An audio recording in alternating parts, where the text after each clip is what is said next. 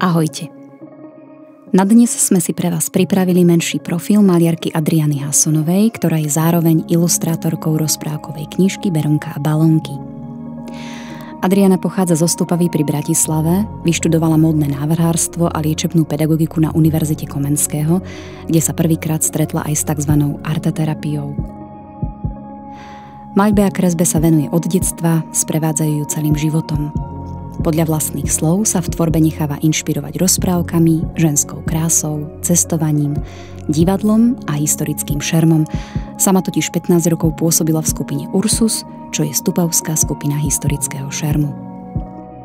Po štúdiách žila dlhé roky vo Veľkej Británii a Írsku, kde absolvovala viaceré výtvarné kurzy, nuža momentálne žije a tvorí v kanadskom Vancouveri.